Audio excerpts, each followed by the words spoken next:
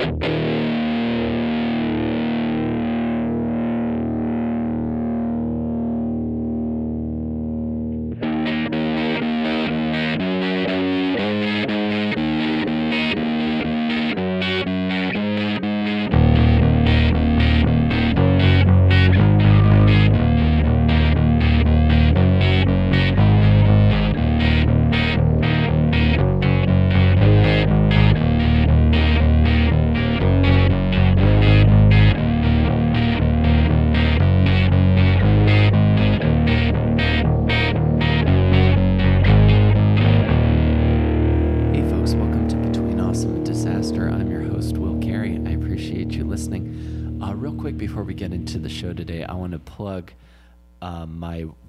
man storytelling show that I'm going to be doing this Saturday, April 2nd, at the Pine Box Rock Shop in Bushwick. It's at 8 p.m., it's a free show. So I would really appreciate uh, if you were, were able to make it, if you could come out, because um, this will be my fourth time doing it, and it's at a really good place, and I'm really happy with the progress it's making. It's it's it's earnest, it's honest, and from what people have been telling me, it's funny. So if you're looking for something to do on April 2nd at 8 p.m., I'll be at the Pine Box Rock Shop doing my one man show at 8 p.m. So I hope you can make it out. Um, on the show today is a comedian and all around affable, genuine, awesome dude, Dan King. Um, me and Dan, I have worked with him a bunch, and this was uh, the first time we sat and chatted for a really long time. He's got a he approaches comedy differently from the way uh, most people do, but it's still really, really funny and really unique. And I got to talking to Dan about his. Um, I also got talking to Dan about his uh, early childhood growing up in South Jersey, and I got to learn a little bit more about what goes behind uh, such a genuine and wacky uh, dude. So I really enjoyed this conversation. So I hope you do too. Let's go to my chat now with Dan King.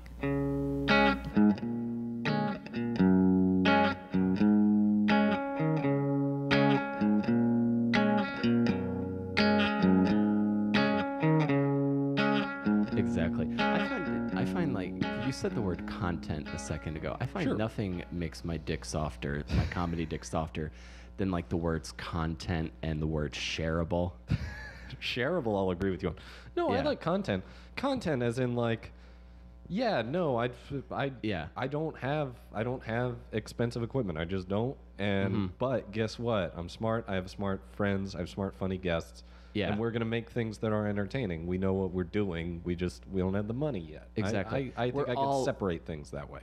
Exactly. That, that's the. I, but I, I love that. I love the uh, how we're all our own like minor threats, and like comedy has just Minor like, Threat is a band. Minor Threat is a band. Like It's they're as just much as I know about Minor Threat, buddy. Tell me about Minor Threat. uh, they started in D.C. in the They were all 80s. miners Um, in the coal mines of DC. all those coal mines of D.C. Well, uh, where's that season? no, they're of like House a of Cards? DIY punk band, right? Yeah, they were like like. What bands is it like with DC and having like sick punk? See, I don't know much about punk music, but I know a lot of awesome bands have come out of there. Oh yeah, like, and and like lots of like iconic people from the punk rock scene, like uh, Yeah. your Henry Rollins and Ian MacKaye. Uh, Bad Brains, I think, and then I, I think they moved up to New York, are out of D out of DC. When when people when people talk to me about punk bands and the punk scene, I feel like the way my mother must feel when I talk to her about rap music, of just like, uh, you seem excited by this, but as far as I know, it could all be made up. I really don't know. Bad Brains, that's another band. Okay, that is cool. that is another band. Black Flag, that's their flag. No, That is that's band. another band. That is Henry band. Rollins, I know. He said that thing about roadies. He Like did him. say that. He did say that thing about roadies. He said you could say Henry Rollins said a lot of things about a lot of things. You Well, probably could say that. I think the reason that there's so much great punk rock out of DC, Yeah. um, and specifically the kind of bands that were coming out of DC, because there's always an inherent uh, political slant to most I was a- yeah, I of was those bands, say, yeah. and maybe punk rock in general. Um, I don't want to pigeonhole the all every band that I don't think it's crazy to rock, say. but it's yeah. like right there. If you're in D, Yeah, in DC, exactly. it's a part of your everyday life. Yeah, that you just, by virtue of being in DC and you're just watching government happen, I think it probably primes a lot of people to be like, when I make my art, I want it to have a message to it that I think is important. Right. That makes sense to me. All right, I understand punk music now. Thanks. Well, man, I'm so glad I could help out.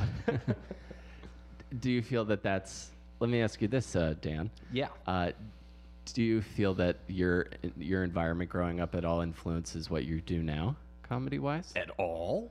Yeah. or do I feel like there was like a moment where I was like, I have shed everything about my environment growing up? right. Like, were you were, were you running from something? No, no, I was, I've never been running from. I, I, I mean, to sincerely answer your question, yeah, of course. I think my environment growing up has shaped everything about mm-hmm. who, who I am now. I'm 24. I don't. I couldn't possibly have had enough distance. You're from my time. Yeah. How old did you think I was? I There's always always assume- a fun answer to this. I always assume everyone I meet in comedy is like my age. Which is 20. 20. I, I'm turning Nine? 30 in a month. Got it. You know, Ian just turned 30. Yes. yes, Me and did. Ian, Ian Kitchen. Uh, we're, we're, this is it now. Yeah, right? yeah. We, Okay. we started. We we Uh, got we figured out punk music. That's the start. Great. That's the lead in. Uh, Dan King talks about punk music. All right. Uh, That's your next podcast. Ian Kitchen turned 30 on Monday, and we had a great day. We uh, went to the Comedy Cellar to watch the early Mm-hmm. Yeah, show, yeah. and we got really excited because Steven Wright was there. He was just Oh, like Steven chilling upstairs. Yeah. Oh, how so like we saw him uh, upstairs at the bar. Ian sa- Ian fanned out and was like, "Oh, I'm a big fan," and he was really nice. Mm-hmm. And then uh, at the start of the show, he was sitting in the back, and we're like nudging each other, like, "Hell yeah, Steven Wright's gonna drop in," and then he didn't, which is his prerogative, but we were disappointed. Yeah. We were like, "Oh, that's such a tease." Uh huh. Steven Wright is here. Just give him the microphone. Oh, I wonder. Oh well, I wonder. I bet he's in in town. Maybe he's doing uh, cause he he's on Horace and Pete's, right? He somebody said he had a show coming up in Boston. Like uh, I think somebody said the Beacon Theater is doing that soon, and they were like, "Oh, maybe he's like Beacon's in New Trying st- York. what? What's the one in Boston?" the Wilbur. All right. I saw. Uh, I saw. Uh, I've been to one show there. I saw Garfunkel and Oates there. It was like one of the f- funniest shows I've seen. Yeah. Oh, they're they're hilarious. They're hysterical. They have a don't they have a show now, or do they still have it? There they had like at least one season. They had a uh, season IFC on- on right? IFC, yeah. I haven't watched that yet, but I'm sure it's funny because they're great. yeah. So so you were so you're at the you're at the comedy. Oh, Cellar. that was the that was the entirety of the story. That we was watched a really good show at the Comedy Cellar, and then just the shadow of Steven Wright was over the whole thing, Gotcha. and that was it. Yeah, because I think what we were we were talking about is like I age and like you're you're younger than I than I, I imagined. I'm you younger be, than you, even though you seem like you. Because I just assume everyone's the same age. I have me. the problem of I've always seemed a little bit older than I am, which like when I started out doing comedy, it was nice because I started out when I was like 19, 20 doing stand up stuff, Mm-hmm. and it was great because like nobody questioned why why I was hanging out at a bar or whatever. Sure. and and that was that worked out beautifully. Uh, but then like I think I just still seem like I'm a little bit older than I am, and it's starting to be like, n- no, no. Now I want to seem younger than I am. Right. 24 is fine, but if I'm like 30 and people are like, yeah, you're 40, right? That's gonna bother me a lot if Mm-hmm. I'm still there. I hope I just always seem like I'm 21, but I think I'm past that, right? Yeah. Yeah. Well, I think I don't feel like I don't feel old um, unless someone you, tells me I you should. seem younger than you are. You Really? your face, you have a lot of, uh, not a lot. Your face seems like the face of a man who is just entering his twenties, and you and you walk with sort of a. You have a nice bounce to the way you Mm-hmm. seem younger. You, I understand why you think we are the same age, but for the opposite reason, I think of you as being very close to my age, even though we're not that far apart anyway. Yeah, it's. More, I think we more or less have some of this similar, exp- same life experiences. I would imagine. I think so. I miss punk music. Yeah. Apparently. Well, I picked up on. See, I picked up on what I guess a lot of people would call real punk later, because I my formative years, I was I was uh, listening to all the pop radio friendly pop punk, like your like Blink One Eighty Two are my favorite bands. Oh, I remember Blink Love 'em 182. so much. My when I was growing up, like musically, me growing up, it was uh, I grew up in South Jersey in the suburbs. Okay, uh, I was a- going to ask that, which is a great state for this for that kind of music. for oh yeah yeah. yeah. For- There's a lot of I like punk and alternative in New Jersey. uh, I had a weird uh, when I was in like, I mean around the time that the Chronic came out. right? Yeah. Like I was in a Catholic school in the suburbs of New Jersey filled with little white kids Mm-hmm. and we all loved Dr. Dre all of a sudden. And Eminem Uh-huh. as well. I don't know why we loved Eminem, but God knows we did. Just- I'm just kidding. just Eminem's did. awesome. Uh but like when those albums came out, like rap was the thing we were all into. Like the way that like if you people look back on it now and they're like, man, it's so weird they were selling rap to white kids at that time. I was living it. We loved it. You couldn't have kept us away from it. uh yeah. What do you think excited you about it?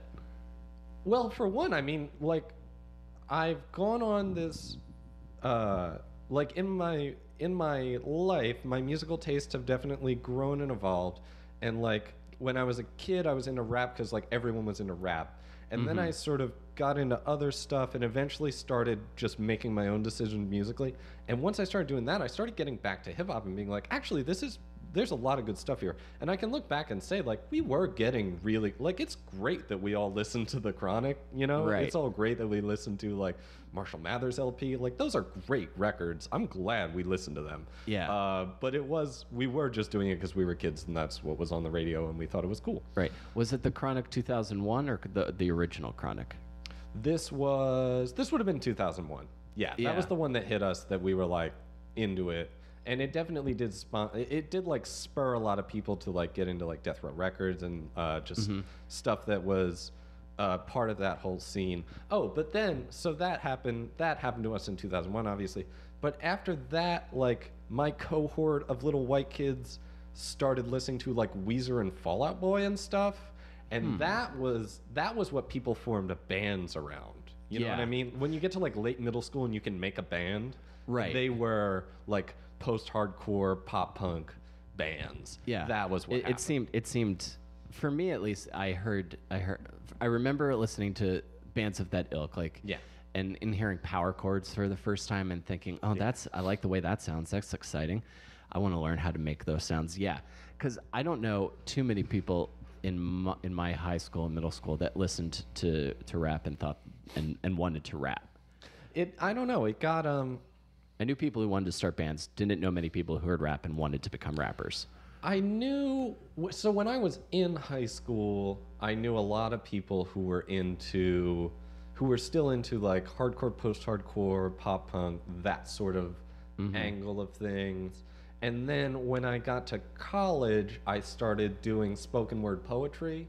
Okay. And that got me really plugged right back into hip hop and into listening to like stuff that was happening around that time. Like I was in college at the perfect time to be way into Odd Future when that 1st started happening, and that was a lot of fun. And I also started like uh, there's a lot of uh, there's a lot of overlap between spoken word poets and rappers, uh, people who are Oh, yeah, aspiring to do both of those things. So uh, I started getting connected with people who were into those scenes, which was pretty cool. Mm-hmm. And I think I, I I'm at a place now where I'm very comfortable listening to a lot of different stuff, which I think is great, and just like appreciating uh, uh, appreciating artistry above anything else, above like any specific genre.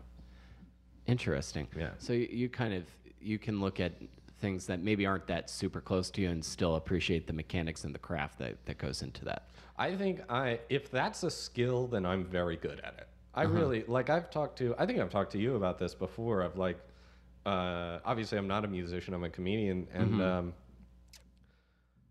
uh, when I watch someone performing comedy, the first thing that hits me is the craft behind what they've done. And like looking at like I can understand that you chose all these words and I can see what you're doing and I if I think it's good then I think it's good because I'm impressed by the choices you made. And then like a secondary thought to me is like do I relate to what you're saying? Mm-hmm.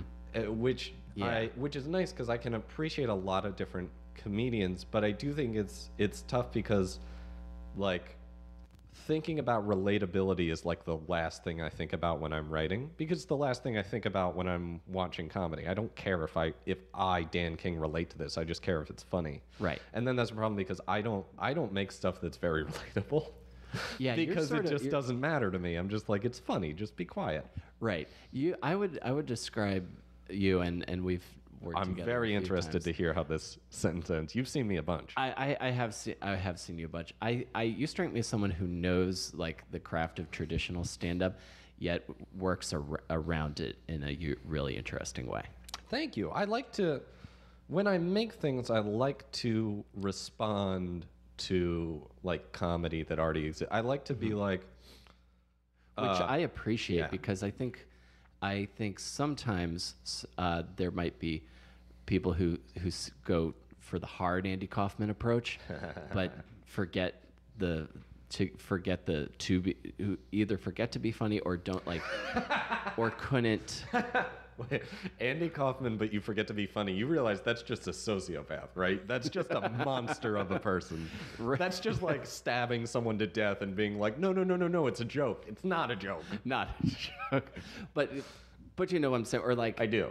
or or like people or maybe like bands that would go describe themselves as dissonant noise core Oh man. but not because not by choice Yeah. because they genuinely can't do Yeah, it Like, yeah. I, think, just like, don't know how to play a guitar, so I'm just punching it, and that's why it's dissonant. Like Right. that's not a choice. but if you know how but but the thing I think I like about you is you know how to play the guitar but you're but you're gonna I'm punch it. deciding to play the guitar by ramming a trombone into it because I think it's funny. Like I'm I'm deciding to do it in a weird way. yeah which is which is good I, I think that. at my best I aspire to do what you're describing.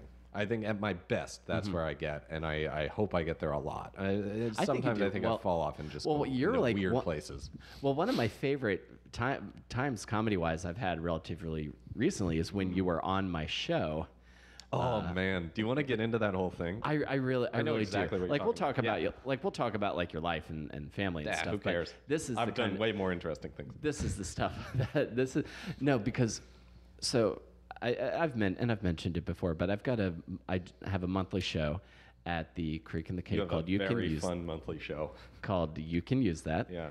And you asked me if you wanted to do it, and Actually, you, I believe what you I pitched did an idea to me. What so I, what I believe I did was I sent you a message, and I think it started with, "I have something that you absolutely must put on your show," or something to that effect. Was Yes. like, I didn't ask you. I told you I have something Yeah, and I was sort of that you must do. Yeah. Uh, and the thing is, uh, and what we ended up doing, which was a lot of fun, was so I guess it was this happened to me last summer.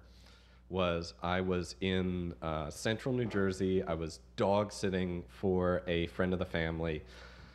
Uh, and I was like living at their place and watching their dogs for like a week. And in the middle of it, uh, they were in uh, West Trenton, New Jersey. In the middle of it, I was like, I need a haircut. Uh, so I looked up like the nearest barber and uh, and this is like a little like I'll throw in all the little details of this just because you know we have time. no, yeah, I think it's important. Uh, I did like I you know I Google search for like barbers near us. It's a rural area. There's not much around, Mm-hmm. but I found two barbers right across the street from each other in the middle of nothing else. And I was like, Yeah. that's weird. It's like the barber district. So I drive down there and I see that there's one barber shop on the right that's got a bunch of cars in front of it, and then another barber shop on the left with no cars in front of it. And Ooh, I'm it's like, the barbershop version of a Robert Frost poem. yeah, exactly. And I'm like, well, barbershop less traveled, that's the one I should go to, no line. so I pull up, I walk in, there's one chair in the whole barbershop, which was amazing. And there's a guy sitting in it. And when I walk in, he stands up and he looks very surprised to see me. Uh, and I'm like, Are you open? And he's like, Yeah, sure. so I sit down. It's this old white guy. He, which will be important. Uh, he's cutting my hair. He does a great job, and uh, we start having a conversation as you do. And he's like, "Oh, what do you do?" I mentioned, "Oh, I live in New York. I'm a comedian." And he lights up. He, he's very excited. He's like, "Oh, I love comedy." I'm like, "Oh, great." And I'm not like like I know a lot of comedians who are like, "I don't want to talk to you about what you think about comedy." I do. I think people have really like an older person probably has seen comedy you can't even imagine. Right. And sure enough, like this guy Comedy that doesn't even really exist in the yeah, world. Yeah, anymore. exactly. Like this guy, he's telling me about like he's going through different late night hosts. Like he's seen Carson, you know, all the way up to today's late night hosts, and he's telling me what he thinks about these people. He saw Jonathan Winters live. He saw uh, Bill Hicks. Uh, like coming through New Jersey, I'm like, tell me about that show, and it's oh, it's amazing. Wow. Uh, he's, he's got a lot of great comedy stories. He seems like a really nice guy. Uh, he cuts my hair, does a great job. We have this wonderful conversation. We're all done, and I uh, I go, oh thanks, I'm going to pay him and leave. And then he goes, hey, hang on, and he reaches into his uh, drawer, and on top of his drawer, he's got a stack of papers, like old yellowed papers, and he goes, here, you can have these. and I look at it, and it's uh, it's about 400 one-liners. It's like a little writing package. It's like 400 one-liners, and I start to read them, and I read a couple, and I realize that these are the most racist jokes I've ever even thought about. They're the most offensive things I've ever seen, just on the first page. And I sort of look up at him, and I don't know what to say, and he goes, "Use them in your act. People will love them." Classic. really flabbergasted. I like hand him my money silently and I go like, "Did you write these?" And he goes, "Nah."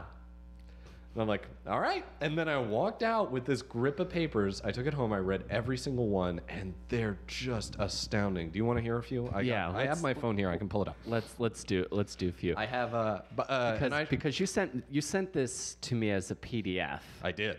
and we're like, this you, you this has to be done Because on your show. honestly- this is too per. And you tell me this. As if like I had removed them from a sacred space. As soon as I got them, they started to fall apart. And I uh, I did some research on them. Uh, there were a couple of jokes that like dated themselves. They referenced like certain TV shows. So these, I'm pretty sure, were written in like the uh, early 80s. I'm Early pretty sure. 80s. Yeah. Okay. Uh, based on what was it? There's a reference to uh, I forget which like TV game show that only ran for like two years. So I was like, it must be Hmm. around then. Because some of these, I when I like, and just to pr- preface, like some of the racism in some of these jokes, It's I- I- old-timey. I, was thinking like back to like the 40s or 50s. Yeah, yeah, exactly. Like it's it's tough Like to the joke that you're doing now is like when white people were racist to other types of white people. Yeah, there's a lot of jokes at the expense expense of like Italians and a lot about Jews, a lot about black people. Uses a lot of words that I don't use. Uh, but let's just go through a few. Um, uh, do do do. Oh, okay. Here's here's like per- here's a, here's about how racist this stuff is, and I can't stress enough that I did not write this. right. This is. If from- you don't believe me, please from the- stop listening. This is from Uh, the drawer of a South Jersey barbershop. from the drawer of a barbershop written by not my barber according to him who knows uh, here's know here's who one off the first page uh, why are scientists breeding mexicans instead of rats for experiments I don't know why, Dan. uh, because they multiply faster and you don't yeah, and you don't get as attached to them yeah which is rough that's, it is that's rough, a rough thing the- to do that's you a feel rough- that that's yeah, I do. sadness Like it feels wrong, but it, there are variations of that bit that are still going around in oh comedy yeah clubs today. see like what like th- bothers we're me looking at this is this is probably this is a historical document. Oh yeah, I want to. I, I sent this to the Smithsonian, and they just sent me back. How did you get this email address? So I don't think they're gonna take it. Uh, but there are some of these that I do think are genuinely funny. Like, what's the definition of endless love? It's Stevie Wonder versus Ray Charles in tennis. that's not that, that's, racist. That's not that's not really racist. That's I don't. more yeah, of a joke that's about not blind racist people. at all. If it weren't so close to like, You could uh, switch out any two blind people. If it weren't on the same page as this joke, what's a Jewish American princess's favorite wine? I want to go to Palm Springs. If it weren't on the same page As- as, that, that joke, one. you'd be ready to be like, "This isn't racist at all," but Yeah. it is. I guess Palm Springs was the destination And then, uh, and then just that joke was written. like one last thing is my favorite uh, thing about this is there's a bunch of like running themes Mm-hmm. and here's my favorite it, like it pops up in a bunch of jokes here's one uh, what do you call a greek man with 10000 girlfriends I don't know a shepherd and then here's another one why did god invent women why. because sheep can't cook which oh, classic. And I'm laughing because I'm uncomfortable. Of course, I'm very uncomfortable just saying these things.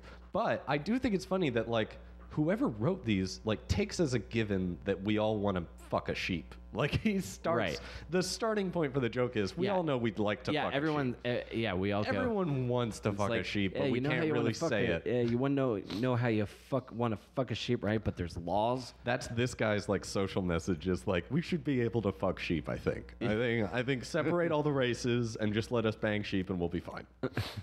but anyway, but if you ever see Can me, can you imagine? I have those jokes on my phone. I can show them to you. They're really astounding. Uh, Oh, that's- and, that's and they hysterical. hurt. They hurt.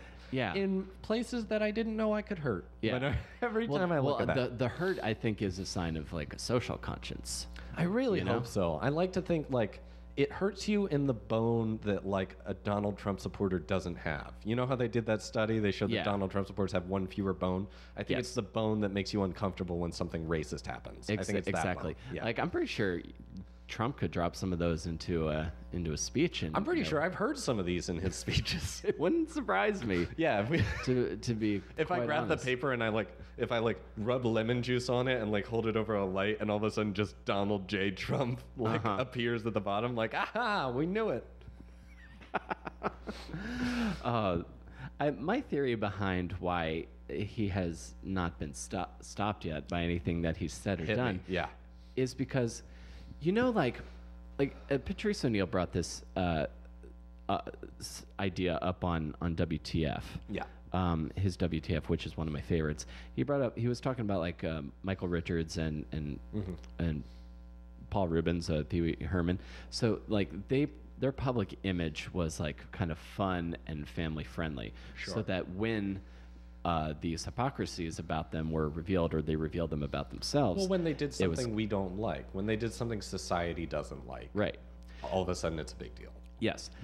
My theory is Donald Trump has been a piece of shit the entire time. I've never thought of him as wholesome or Right. good or even very nice. Yeah. So everybody, so So you can't just tag that. what You can't tag that guy been. with "you're a racist asshole" because he just comes back with like, "Yeah, of course, you knew that when you Yeah. started watching The Apprentice." Right. you It's like about? and what's Yeah. I, I feel to see your point. I've never said I wasn't.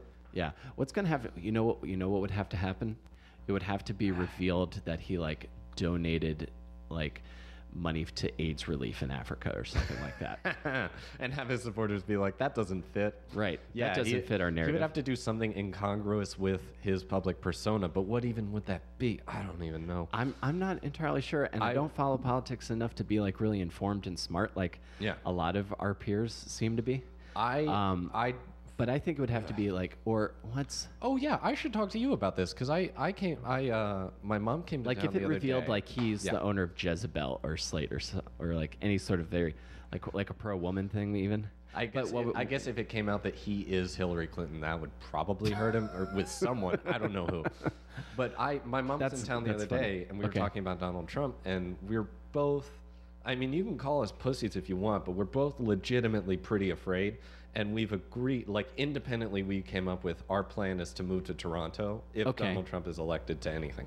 Mm-hmm. Uh, so I should talk to you about how hard would that be? Um, to move to Toronto. I want to. If I wanted to suddenly move to Toronto, Okay. let's say within a few days of Okay, the election, you- just like I don't want to wait around to see him inaugurated. well, I'd start.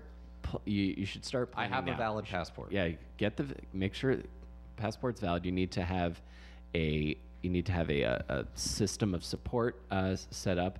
You need to have I a should start making friends with Toron- Torontans. What are they? yeah m- make make friends with people who are in Toronto. Prove that you're going to be. Uh, you'll need to be able to show that you'll be a, a, a good s- member of society in your community. You'll need to have All a right, jo- let, make us sure you just have a say job that and that stuff. might be tough for me. Let's just imagine that I might have trouble convincing anyone that I'm a positive effect on their community. Okay.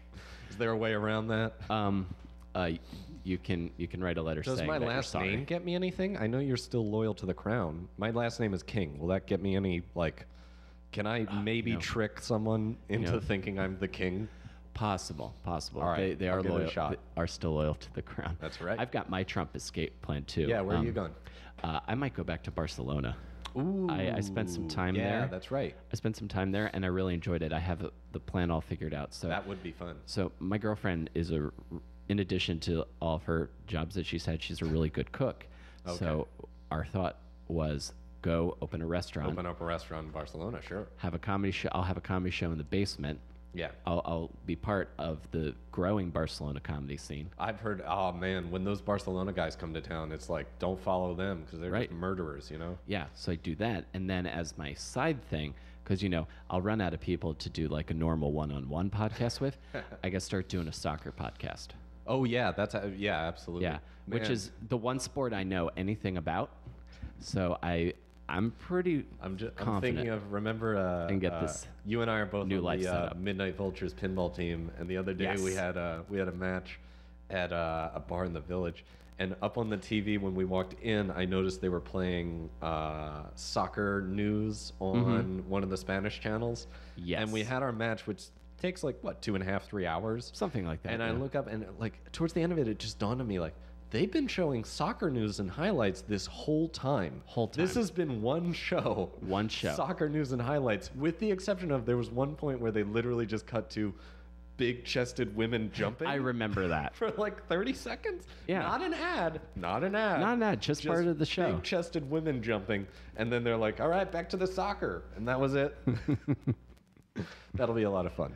That that will. I'll come on your soccer podcast. Awesome. Talk about the Union. What's up? Ah, the oh the Philadelphia Union. Yeah, or I guess I'll become a Toronto FC fan. Ah, yeah, Toronto FC. In this alternate history, in this alternate future, I'm a Toronto FC fan. All right, sounds sounds good. Mm-hmm. Sounds good. They they're coming out pretty. They're coming out pretty strong. I, I don't I think the Union are not this year, but I could be wrong. I haven't checked. I think they just won their first game. Well- so it's it's Journey of a thousand steps, you know? True. Or whatever. True. Whatever that saying is. Do you follow soccer at all? A little bit. Yeah. I, I like keep loose tabs on the Philadelphia Union. Mm-hmm. And then I kind of care about how the English Premier League's going. And then I'll watch like Champions League matches. Okay, I, I like I like sports a lot in general. So I'm comfortable Cool. with like whatever sports are on, I can watch. That's fine. Awesome. Have, have you always been into sports? I think so. Yeah, Yeah. when I was um when I was uh like one and two years old, my parents would take uh, me and my sister to a lot of Phillies games. Uh, my older sister and I, like my my dad loves this. When I was two, I could name everyone on the Phillies roster from memory, and he he took out like the you know the old like behemoth video camera that you shoot family. He has an old VHS tape of me listing off all the names of the 92 Phillies, which was an amazing team.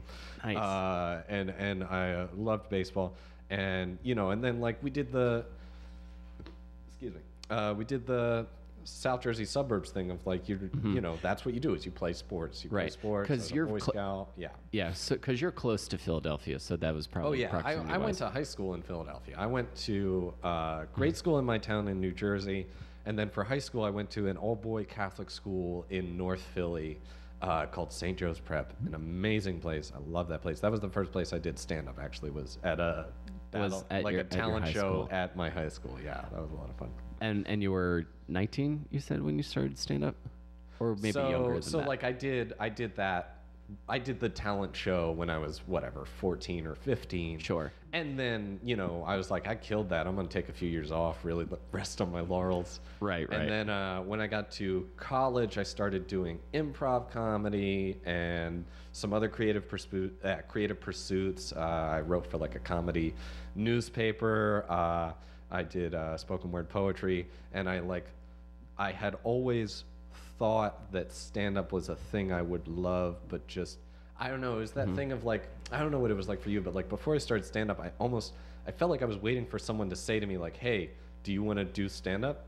right, you just needed a reason. Like you, maybe you didn't want to. You were like, oh, that's you Yeah. didn't. You were afraid to maybe do it the first time, but if you had a reason, like someone offered you a gig or someone asked you to do it, you do Yeah, it. Yeah, then you're like, "Yeah, I would totally do stand up. I'd be great at it." And then Uh-huh. eventually I got to a point where I was like, "Oh, no one's going to ask me. Why would someone ask me that? That's such a weird question to ask someone cold. I should just do it." And then I got Yeah. started and I was uh I think I was almost 20 when that happened.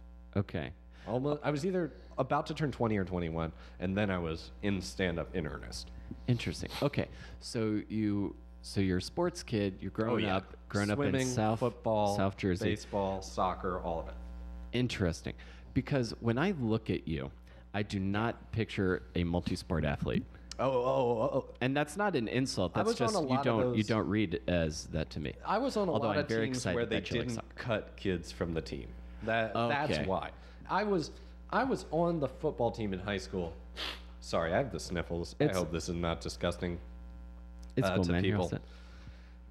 Uh, I was on the football team in high school because my high school was small enough that if you wanted to be on the football team, you were on the football team. I was awful. I played guard, Mm-hmm. and you're looking at me, and I was smaller than I am now. Right. And I, I, was guard because when I showed up on the first day, they were like, "Can you catch?" And I was like, "No." And they was like, "Can you run?" And I was like, "No." They were like, "Can you throw?" I was like, "Not really." And they were like, "Okay, you go with the big guys. You go over there. That's where you go." And then they just would light me up. But I mean, I liked I like football. I still like Mm-hmm. football. So I was like, I'm gonna stay on the team. Maybe I'll maybe I'll grow six inches and hundred pounds overnight. Never There, happened. there you go. Yeah, I was kind of the same way. Like, I wasn't allowed to. My parents wouldn't let me play American football because they were afraid I'd get hurt. So I was Really? on t-ball and and soccer, and uh, I showed up to soccer practice, and they were just kind of like, "Well, he can't run, um, and he folds under pressure quickly. Yeah. So he's going to be a defender, and we'll put him in the goal when we're four game points up." See, I had, hmm. I had a almost an inverse like trajectory where when I was a little kid, I played soccer because you know we we lived near a soccer field. Let's go play soccer. But I- when I was like eight, from the ages of like eh, five to like 12, 13, I was just like a ball of anger and energy that just like didn't have any direction to it. So when I would play soccer, I would just nail people too often. Uh-huh. like I would just see someone who wasn't looking at me and just light them up. And eventually they stopped allowing you to do that. And they were like, "You you should not play soccer anymore." And that was when I was like, "Well, let's try football because I mean, at least I'll get to just hit people." Just hit people, just really what I get learned is anger What I out. learned is like with my body at the time and even now like among peaceful people I was the biggest most violent kid but among the kids who wanted to hit each other I was the smallest worst one which is the bad side of that trajectory. yeah no it's not a good place to be Right. So, gosh, I didn't. I, I would have never thought any of this about you. Like, it, I would, I would imagine you as being like a somewhat, somewhat bookish, artsy type. Would you? co- Would you? Hmm. What? Well, let me ask you this: mid-teens, and angry. So that's that's a. I'm familiar Well, with. I'd I'm familiar with it. that. Where's where? Where do you think that's coming from, Dan? Well, I had worked through I had worked through being angry by the time I got to like uh, towards the end of my freshman year in high school. Basically, I mean, really, football helped a lot with it because uh, when I was it's a little definitely going to physically tire you out. well, when I was a little kid, like I would just get angry about stuff, and it's so bizarre for me to look back at it now because now I'm not an angry person. No. I, I, I I'll get excited about stuff, but I, I don't get angry at people or events really. Uh, but when I was a little kid, I just like I didn't have any sense of like how to handle things and react to the world, so I would get angry a lot, and I think football helped a lot because it like showed me like. God, I don't I don't have that kind of a body, you know? Like I, I can't be that person who's always trying to like fight someone because I'm going to lose a lot of them and it won't Yeah. be good. So before I managed to really go down that path, I realized like I better I better figure out how to not just get angry in response to everything and how What to like were you in? actually have feeling. Uh, like freshman year in high school, so I was uh That's a very 13, mature realization for for that young. Uh, well, you know, I mean, you own a mirror, and You just and, look into it and you're and like, you see yourself getting just the shit beat out of me every day at football practice, and at a certain point, you realize, like, God, that might just be who I am. Uh, but uh, yeah, but so by the time I by the time I really like got to being a teenager in earnest, it was almost this weird thing where I was like, I've uh, I've spent so much time being like a weird kid, and I'm weird because like I just I don't know how to like channel feelings. I just don't. I know mm-hmm. angry. I know not angry. I don't really know other stuff. Right. And then as I'm going through high school, I I'm like learning uh, learning how to be calm and react to things and how to mm-hmm. make stuff and how to like how to actually be happy. Mm-hmm. Does that make and sense? Yeah. And what were the the things that were were helping you do that? Uh, two two things I want to know. I want to know what your like home life is like, like brothers, sisters, Oh, yeah. anything like that. And then also, what were the things? Because this is really interesting to me as well. Because um, I find that I I would not describe myself as an angry person e- either. I wouldn't but either. I, I can, de- I can, I've definitely had those moments where I'm just like, where I feel like my feelings get hurt and I start to get defense and I get defensive, which leads to Yeah. anger. Um, I do, I'm pretty good about not displaying it outwardly, But what were some of the things that, like, what were you, what was going on during that time, and what were the things that helped you kind of wrap your head around your feelings intellectually? Yeah. And cope with.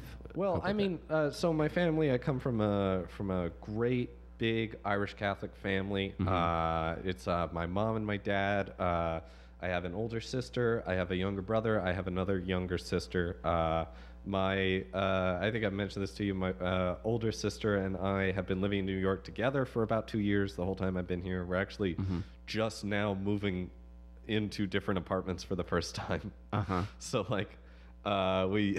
So you're close.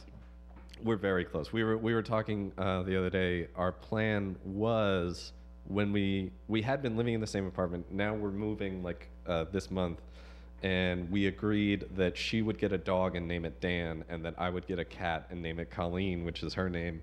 Uh, but then the apartment I found doesn't allow pets, so it all fell apart. Uh, but anyway, That's adorable, yeah. dude. And uh, my my brother's in. Uh, he's a senior at Notre Dame. Uh, is going to graduate in a few weeks. Uh, my little sister is at uh, Washington University, and we've we've been a tight family, really our whole lives. If for no other reason than we are a bunch of goddamn weirdos. We just are. Uh-huh. We we understand each other in ways that other people just can't because I don't know. I think we we all have different stuff, but it adds up to like I relate a lot better to my family than to other people. You guys just know me better. It- Like Yeah, you you've spent the, more time with them, so it's not that they we're know your quirks and well, what- not even that. It's as it's as far as like we were each other's best friends growing up, and we uh, we're close enough in age that we're we've always been connected. Uh, and like my strongest connection is always going to be with my brother, just because like when I was just a weird little kid who didn't understand how to talk to people, I could still talk to my brother. I, I still could. Right. Even when I couldn't muster a friendly conversation with another person, I could have one with my brother or with sometimes with my sisters and then sometimes with my parents, but my brother for sure. Uh, so we, we've always been very close. And uh, oh, yeah. I you asked about like what put me on a different path. yeah, I yeah. on. I was curious, like, what? How are you able to? Because I would wrap- say, I would say, like going into high school, I had this weird thing where, in my head, I was a star athlete who just hadn't hit my growth spurt yet, okay. and and I was gonna figure that out, and I was gonna be either a great swimmer or a great football player, and I wasn't old enough to understand that that's not a thing. That's mm-hmm. not a thing. Right. Uh, that like, and also that like, I did hit my growth spurt. I hit it in about eighth grade. I'm as tall as I'm gonna be. You know what I mean? Uh, and like, uh, I I just hadn't realized yet that I was gonna need to do new stuff. And I do remember really clearly, I had uh, I had started to hang out with like a groovier crowd of people who were like everyone in my old boys school cared about sports, but we weren't all star athletes. And I started to hang out with people who were into music and art and other stuff. Yeah. And there was this guy, and I, uh, I will always love him for doing this. I, I had thought of him as kind of a weird dude, uh, and we weren't, we didn't hang out all that much. Brendan Mattox, if you're listening, thank you so much for doing this. One day, I'm like eating lunch, and he's at the table, and he just like offhandedly mentions like, "Hey, we're going to this concert tomorrow night. You want to come to the show?" I'm like, uh, "Yeah, why not? I'm not doing anything." And it was uh, the band was of Montreal. I know 'em. Oh yeah, Yeah. Uh, Like on on Halloween. So Nice. So it was of Montreal, and everybody in the crowd was at their most like groovy and funky. Uh, Everybody's in costume. It was the first time I had ever gone to a concert that wasn't classical music, and it was the first time I had ever seen people who were like, like to me up to that point, I was like, I knew I was weird, but I was like, so I got to try to be normal. So I gotta, I gotta Right. try. You to have figure- to fit in with Yeah. your surroundings. yeah, exactly. I have to like look at the people around me and be like, what are they doing, and I'll and I'll try and do that. Uh, Yeah, but- that's I'm familiar with that feeling. and this was the first time that I saw a bunch of people who were like, no, no, no, no, no, we're weird. We make weird stuff. If you don't like it, fuck off. That's it. We're we're gonna be who we are, and that's okay. And it's gonna be cool for us. And if you don't like it, then it's not for you, and that's fine. And I remember that concert just like planting the seed of like, maybe it's okay for me to think more about just making art and interesting stuff and to like care about writing, maybe it's okay for me to be that and not mm-hmm. to put all my eggs in miraculously becoming an amazing athlete or something in that uh-huh. sort of path. And that like it didn't all happen at once, but that did sort of start me off on Right. like maybe I should be a really broke mm-hmm. comedian who lives in Bushwick and I just make weird stuff for my friends. Maybe I should do that. Oh man, Bushwick is where where you, that's That's where that's it's at, yeah, man. dude. That's I, that's where I moved to. Yeah, that's great. That's great, man. Because it's it, that moment when you when you have permission suddenly to Yeah. indulge the weird thing that you think is on, only you. Yeah. That Yeah. you can't really tell it. That you don't really tell anyone else about. To finally have the permission to be that is a really liberating moment, and then that sets you on the course for everything else you're going to do. it almost and I don't want to I don't want this to come off too judgmental, but it almost like when I see people who like clearly grew up in an environment where like they got that message right from the jump, where people who are like, yeah, my whole life people have always uh, you know, said to me like follow your own path, do your own thing. Like I think that's great, but I almost feel like if you didn't have it and then you came to it. Like it's not that anyone ever said to me you can't be a comedian. Quite the opposite. My parents are incredibly supportive. So is the rest of my family, mm-hmm. my brothers, sisters, aunts, uncles. They're all amazing. They love that I'm doing what I'm doing and I Yeah. it's I'm so thankful for that. But like the fact that I had that moment where I was like I'm going to consciously decide to do this. I think it's nice to have that touchstone to come back to to be like there's a reason I'm here and it's because there's something inside of me that likes making this stuff and I just Yeah. I want to keep making it. Yeah. Yeah. No, I'm the, I'm the same way. It's like I just want to keep creating, and I want I there's so much like I want to to do and put out that I just I I get I have I- and you know me pretty well. I'm pretty m- chill dude, but I Oh, have yeah. like these manic episodes where if, if I come Oh, up with something I'm really excited about, I'm just like, holy shit. Yeah, yeah, and you just work. it. Like, do you have do you have like uh, just all of a sudden you just haven't slept for a couple of days, and it's not that you're Yeah, like or- you're not on a bend or anything. You're just I got excited and I've been making this thing. That's yeah it. Yeah like when like i'm not like i haven't re- i haven't been doing too much with music lately but when Yeah. i was doing a lot of stuff with music and my old roommate and me and benil Jermosin were writing songs constantly i would get the inspiration and i would just go oh my gosh Yeah.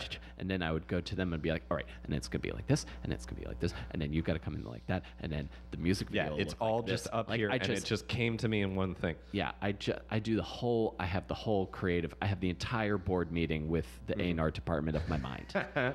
I do because you know I do uh, test pilots. It's a writing project where I Yes, write let's talk a about some of the pilot stuff you do.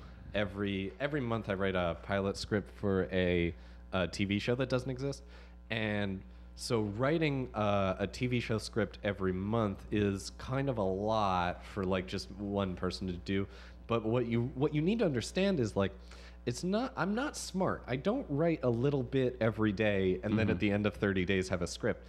I write like a little bit and then i get busy and then i forget and then i just go play pinball instead and then and then there's like a day when it just clicks and i'm i'm just gonna sit down and not stop writing because i've, I've got it. And then i and then i've got the script and then i'm going back and i'm like all right well let me fix this because it was five in the morning when i wrote this and it's not totally mm-hmm. together. But like it it happens on one day on the day when it just grabs me and then there's a lot of ancillary stuff to it The- does that make sense like that just Yeah. it hits you and then you just go because it's there and and that's it it's just the most important thing in the world all of a sudden oh, absolutely. Like some of the this one man show I've been working on. Yeah. Um, I will get like the last time I did it, I made huge leaps and added a whole bunch of stuff and stuff I was scribbling like day of. Oh, yeah. And it made these like it made the show like instantly so much better. And Now I have and you know I go and I have to make notes on the tape. Yeah. So I remember to add to because that's how I'm working on it. I'm doing it like once a month, trying to build it up so that I could maybe start booking it rapid in rapid. Do- uh, sorry sorry booking your one-man show like Yeah. finding talent for your one-man show Oh, it's just finding venues for it. I'm just imagining you being like, "Hey, uh, can you do a good Will Carey impression? Uh, I'm booking this one-man show written by Will Carey." If I In my head, you're pretending to be a third person. yeah, I'm. it's like I just create like the live a version of that Bob Dylan movie for myself. Yes, that would be amazing. You want to do a one man show where it's like 30 people and they're Oh all playing God. the same one man? That dude, you should do that for your next test pilot. Yeah. Just do like a guy casting a one man show of himself. That would be great. Oh my god. can I do if you do that, can I be on that one? Yeah, totally. Oh, Absolutely. Yeah, I'm yeah, dude. growing that one. I've got, um, I know I've talked to Momo's going to be on. Momo's going to be on it. So Nice. we've got to figure out someone that you and Momo Pujay could both play without me getting tarred and feathered. Okay, without you getting tarred and feathered. Okay, so something that both me and him I gotta get him on here too. I wanna talk Oh, uh, absolutely. I wanna talk comedy and soccer with He's that very, guy. he's another Philly guy. You should definitely have him on here. Yeah. Yeah. Yeah, I, I, I like him. I wanna because he I like, have an inherent love of anyone who has ever even been close to Philadelphia. It's just, Yeah. you- you're my like when I started doing stand up, I started it in and around Philadelphia. Mm-hmm. That's just my I love that place. Yeah. What what places did you did you start? Because I'm curious about Philadelphia's comedy scene. Because there's like r- there's really funny and really famous people There's that are from amazing people that came Philadelphia. Yeah. Yeah, when I was um like uh when I was uh, just starting out, I we would always know when uh, Todd Glass was coming to town Mm-hmm. because he was like people know him and he's rightfully so because he's amazing and also he's like very nice to young comedians and like he- Yeah. like you could maybe get him on your podcast. You know what I mean? Like I knew Right. a couple of guys that got Todd Glass on their podcast and they were just over the moon. Anyway. Mm-hmm. Uh, yeah, when I started, uh, when I started doing comedy in Philly, it was uh, sorry. Uh, I had been away at college. I took a year off. I was back home. Oh man, this is just bad. It's cool. Do you, w- want me to get you a tissue or, or something? Mm. I have a pack of tissues here. I think I just need the water or the tea. Oh, okay. uh, and uh, I was uh, back home um, in South Jersey, and I would go to. Uh, remember the first open mic I went to? Uh, it's called Laughs on Fairmount. Uh, it was at this place called uh, Urban Saloon. Okay. Uh, where they had this huge uh, venue. It was a bar, and then they had this incredibly large back room. And the the awesome thing about Philly is. Um, there's enough people there to have a whole scene, but and it's a big enough city to like you can you can put on serious stuff. Uh, but it's a small enough scene that you can put a lot of energy into your open mic and into like getting people to show up for it. Okay. So the open mics there, the a lot of them would have like real actual crowds there, like a Right. better crowd than you would get at just like fill in the blank weekly bar show is just chilling out to watch all the Philly comedians just try stuff out, which was amazing. It's such a great like way to start out. Yes, it is. And uh, pretty quickly, I started. Uh, I like formed uh, a little team with a few other people, uh, with uh, Brian Six, Tim Ramus, uh, and Andrew Spasato, uh, who are three other Philly comics. Andrew's, as last I checked, was not so much into it, but Brian and Tim are still uh, grinding out in Philly. They're amazing. Uh, and we started running. Uh, we've run shows and open mics first at this place in uh, Northeast Philly called Kern's Irish Inn. Then we moved to this. Uh, then we started this amazing run where uh, we would run an open mic at a place for uh, for a while, and then the place would boot us and then close immediately. Mm-hmm. Uh, one was on 21st Street. I forget the name of it, where we ran an open mic, and that the guy running that uh, the guy that ran that bar was just a jerk to us. Uh, and uh, eventually, like he, we sat him down and we were like, "Look, we're bringing in like 50 plus people to your bar every week." We think you should give us some money for that, maybe. Right. And he went, I should be charging you a hundred bucks for the space. And we were like, that's wrong. And Yeah, so we I- split, and then like within a month they were closed. And then uh, we moved to this old gay bar called L2 on South Street, and sadly they closed uh, uh, because we just we just weren't enough to keep an entire business afloat. Right. Uh, but all of those open mics were so much fun to do, just because like. Uh, it uh, the the the scene really cared about them, and you. Uh, the you as like you're running your room you really cared about this and you really turned it into like i'm gonna get better. I'm gonna get better at comedy so i can make my open mic better. I'm gonna figure out how to promote stuff. I'm gonna get better at that. I'm gonna like i've got a real crowd of people here. I'm gonna figure out how to tell jokes to people. Uh, i i love doing that whole thing. Yeah, Th- that's great to hear because I'm. It took me a while to come around to that was be a way to to do it because when I first got to New York, and maybe I had a bit of this when I was in Baltimore too. Like I I, I got in at the because when I started in Baltimore, it was really tiny. There Yeah. was like the t- the two clubs that one you could maybe do new talent night at. One you couldn't really get in unless you like knew someone. And there was the one really good booked uh, bar show that had a paid headlining spot. Oh, wow. So, so those were, were kind of your options. And but when I got to New York, I, I've, and I'm trying. To, I still have a little bit of this. There's a, a masochist part of me that feels the need. Yeah, I know to you're be a comedian. accepted. to be accepted in the traditional two drink minimum comedy club environment.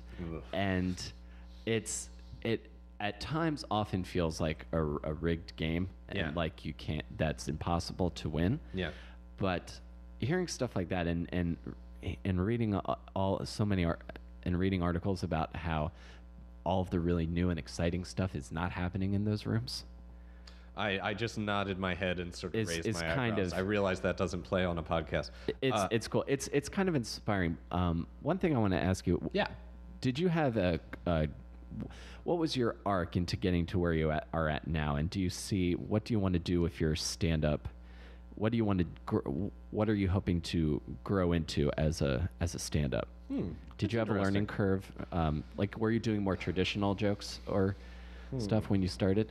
So I guess like like to take like a really as long as I could possibly take of this, like my arc is as a little kid I like became aware of stand-up comedy.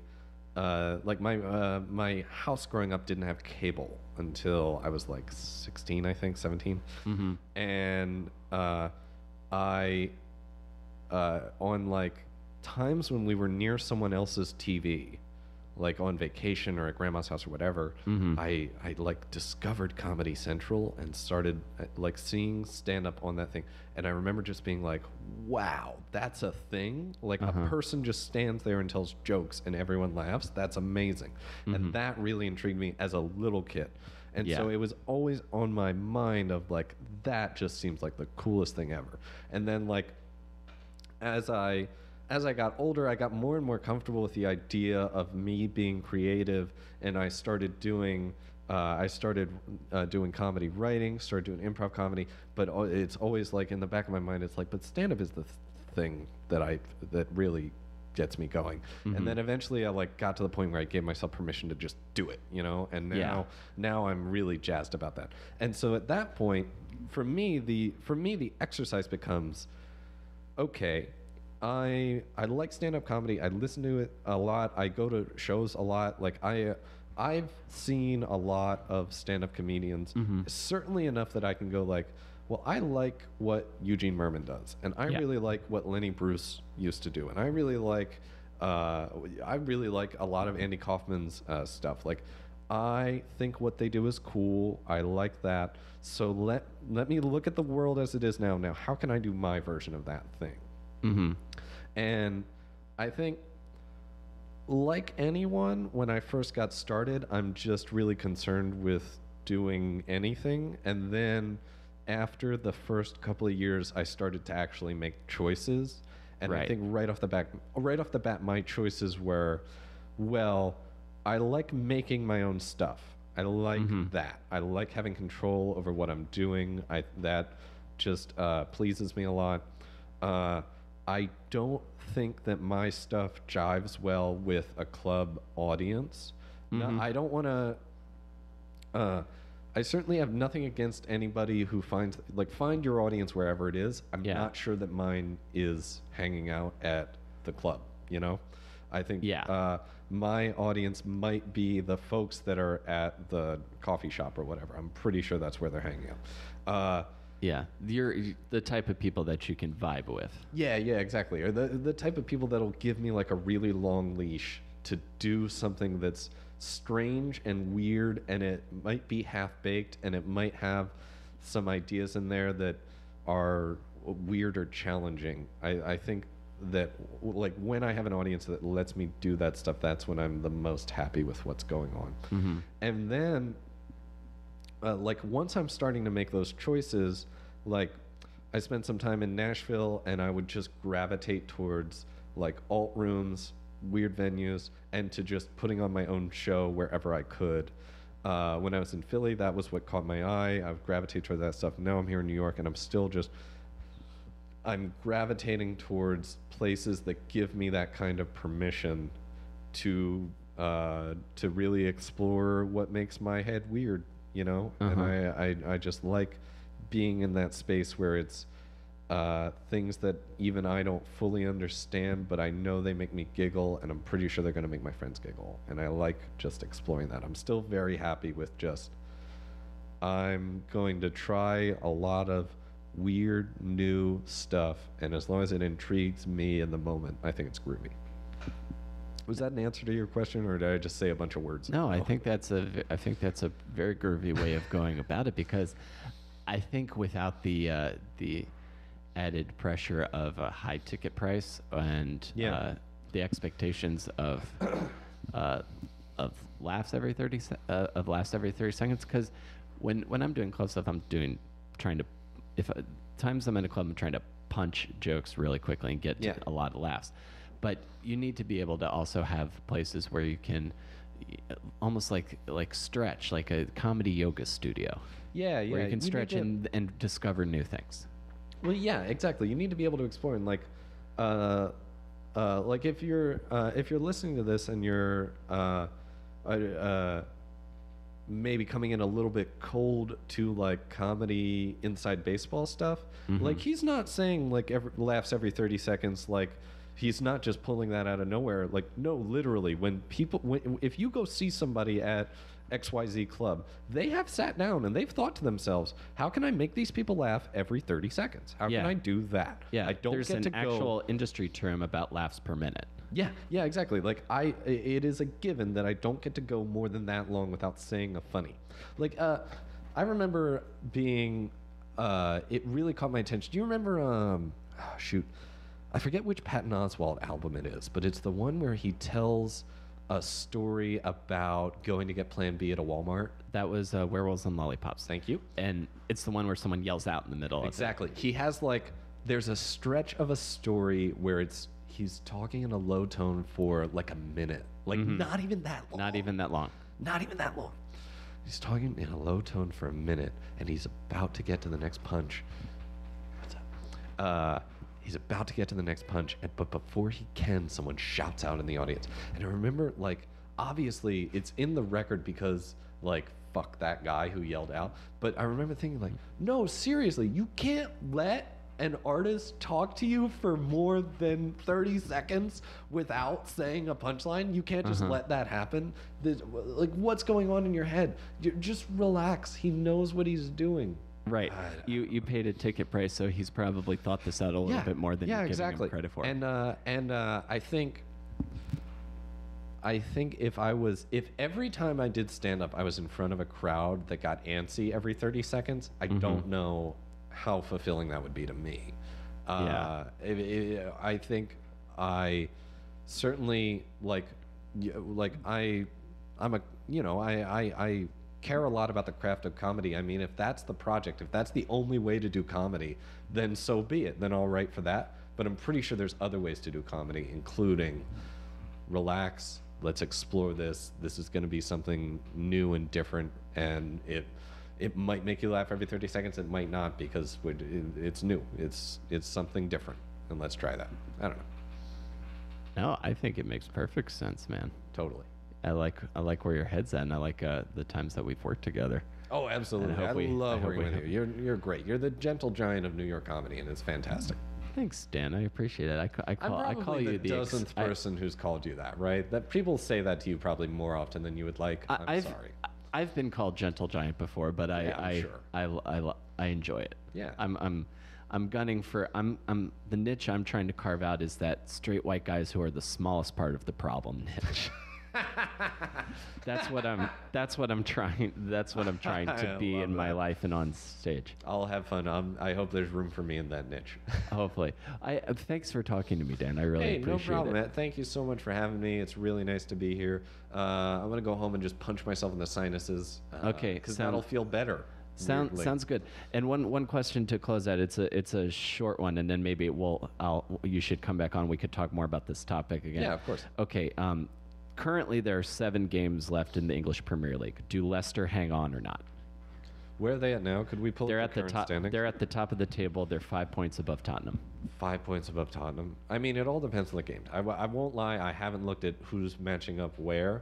I'm, I'm certainly impressed. Like when you told me just now they're still at the top of the table, I'm shocked by that.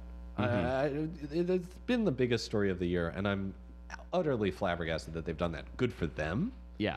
Uh, I uh, I hope they enjoy it. I hope they enjoy their Champions League berth next year. I think that's all great. Do I think they'll end up top of the table? No, no, no just because, God, this is It's too You know, good of a story. like Cinderella can stay out till midnight. She can maybe stay out till twelve oh five.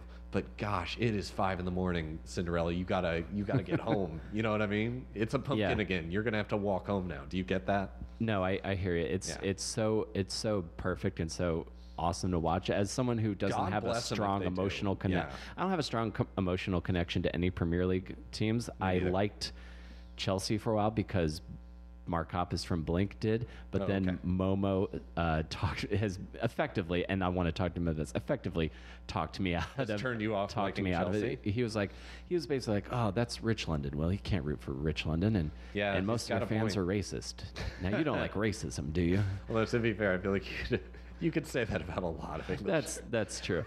so we'll we'll have to I'll have to we'll have to you'll have we'll to come talk back about on. We'll soccer. talk when you're in more. Barcelona in November. We'll just talk about uh, English Premier League soccer and the Spanish teams. It'll be great. All right, sounds Thank good, you so man. much for having me. Will. Thank you, been A Dan. lot of fun. Appreciate it. All right, groovy. Peace.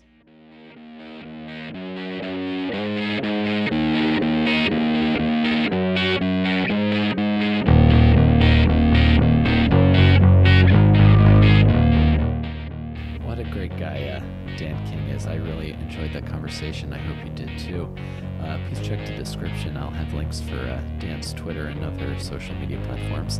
And you can always uh, check out my website, willcareyisfunny.com, uh, for my upcoming stand-up dates. And you can follow me on Twitter at comicwillcarey. Uh, once again, before we get out here, I want to plug my show April 2nd at the Pine Box Rock Shop at 8 p.m free show. I'm uh, in the process of still fine tuning my one man storytelling show, so I'd love for you to be there because it's a lot more fun when I have uh, some people to share my uh, my life with. So thank you for listening again. I will see you next week between awesome and disaster. Have a good one, everybody.